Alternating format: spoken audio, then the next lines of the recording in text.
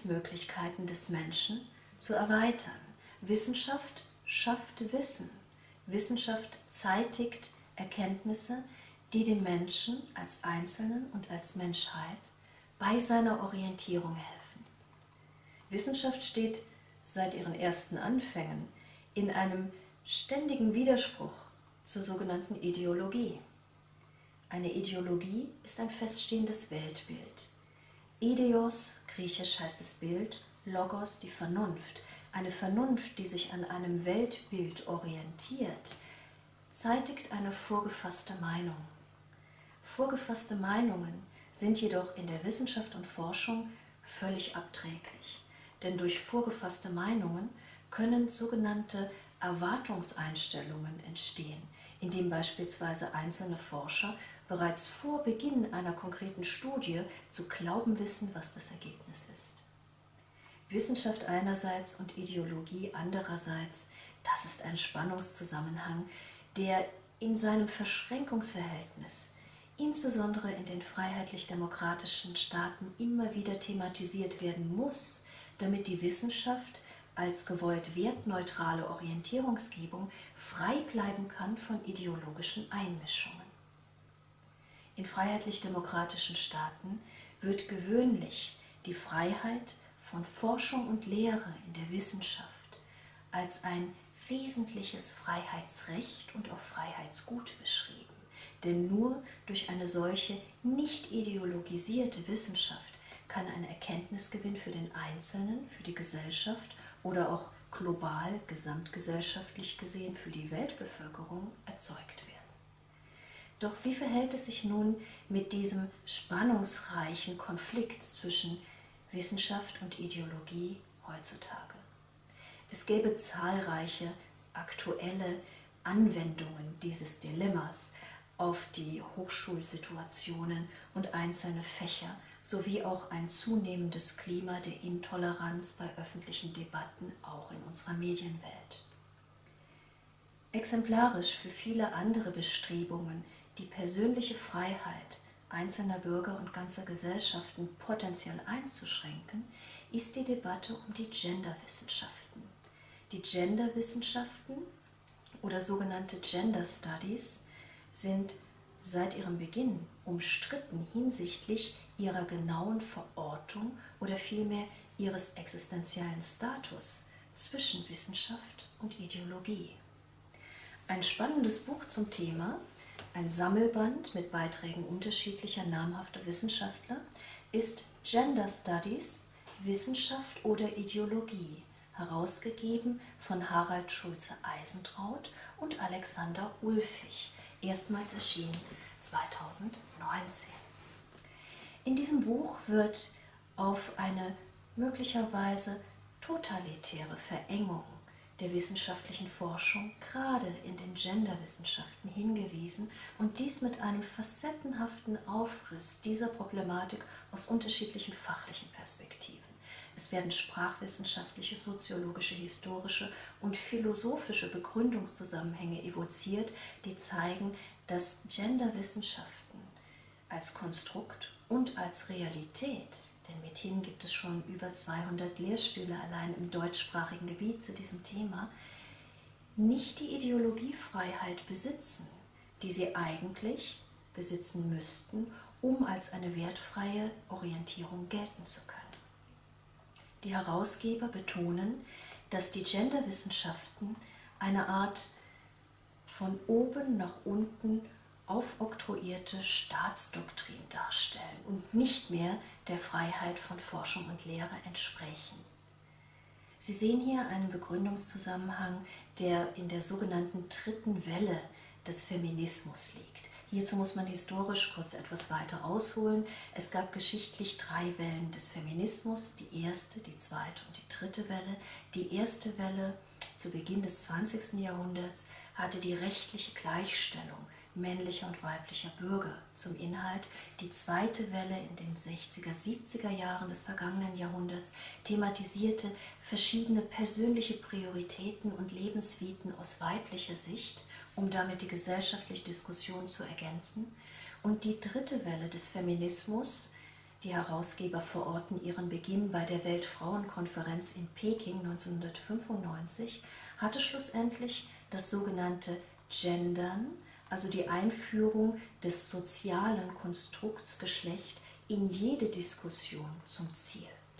Und hier fragen die Herausgeber, geht diese dritte Welle des Feminismus nicht zu weit und hat sich nicht ein ursprünglicher Befreiungsdiskurs, der Feminismus, zu einer totalitären Schranke entwickelt, die mehr und mehr persönliche Grundfreiheiten einengt und insbesondere auch an den Hochschulen selbst Fächer zeitigt, die nicht nur eines inneren Konstrukts ermangeln, sondern sogar auch die Erkenntnisse in hochideologischer Art und Weise zeitigen, die eben nicht mehr als allgemeine Orientierung gelten können. Hier werden nach Ansicht der Autoren die Begründungs-, Entstehungs- und Verwertungszusammenhänge von Wissenschaften, die laut Max Weber zum Konstitutivkriterium einer ideologiefreien Forschung gehören, bunt durcheinandergewirbelt und schlussendlich entstehen auch nicht nur schwach abgesicherte Erkenntnisse über realpolitische und soziologische Verhältnisse, sondern es entstehen zudem auch neue autoritäre Zurichtungen an jeden einzelnen Bürger. Dieses Buch, dieser Sammelband, ist eine aufregende Lektüre. Eine Lektüre, die Kontroversen provoziert, die manche wütend macht, andere hingegen mit vielen neuen Erkenntnissen versorgt und mit einer gewissen Entmutigung in Bezug auf das rasche Wachstum totalitärer Diskurse in den westlichen Gesellschaften. Dieses Buch hat nur einen Nachteil. Es ist zu kurz. Es folgt ein kurzer Leseabschnitt. Aus dem Beitrag von Thomas Kobelik. Gendern und Politik. Was derzeit geschieht, ist eine subtile Form politisch motivierter Umerziehung. Sprachvorschriften sollen die Köpfe der Menschen umpolen. Das Stichwort lautet Sexualisierung. Bei jeder noch so alltäglichen Verrichtung, bei jeder noch so ernsten und abstrakten Thematik soll das Geschlecht der Beteiligten als Monstranz der politischen Korrektheit der Satzaussage vorangetragen werden. Der neudeutsche Terminus dazu heißt Gendern. Ein Mustersatz aus der Berufsordnung der Deutschen Ärztekammer zeigt, wie das funktioniert. Zitat Ärztinnen und Ärzte achten das Recht ihrer Patientinnen und Patienten, die Ärztin oder den Arzt frei zu wählen oder zu wechseln. Andererseits sind auch Ärztinnen und Ärzte frei, eine Behandlung abzulehnen. Zitat Ende. Der Tribut an den von kämpferischen Feministinnen geformten Zeitgeist ist offenbar wichtiger als Lesbarkeit und Verständlichkeit. Häufig wird das Argument ins Treffen geführt, Sprache sei eben einem ständigen Wandel unterworfen und es sei vollkommen natürlich, dass die gesellschaftlichen Veränderungen der vergangenen Jahrzehnte auch ihren Niederschlag in der Sprache finden. Das ist so richtig, wie es trivial ist. Selbstverständlich gibt es keinen historischen Zeitpunkt, ab dem das Sprachsystem für alle Ewigkeiten Gültigkeit beanspruchen könnte. Ja, Sprachwandel findet statt. Doch beim Gendern geht es explizit nicht um einen natürlichen, evolutionär ablaufenden Sprachwandel, bei dem die Sprache sich an neue Realitäten anpasst und neue Ausdrücke und Redewendungen übernimmt, weil diese ein neues Ausdrucksbedürfnis befriedigen, stattdessen wird versucht, durch von oben verordnete Sprachvorschriften eine bestimmte Weltanschauung zu transportieren. Das aber ist ein völlig anderer Vorgang. Und vergessen wir nicht, dort wo der Staat aktive Sprachpolitik betreibt, ist die Freiheit des Denkens in Gefahr. Zitat, denn es ist ein Unterschied, ob der Staat sich darum bemüht, Benachteiligungen mit gezielter Förderung zu beseitigen oder ob er sich herausnimmt, neue Rollenbilder für die Menschen zu entwickeln und dabei schon Jugendliche in den Dienst eines sozialpädagogischen Projekts zu stellen, das auf einer zweifelhaften theoretischen Grundlage steht. Zitat Ende, wie es der Journalist René Pfister ausdrückt. Gendern und Freiheit.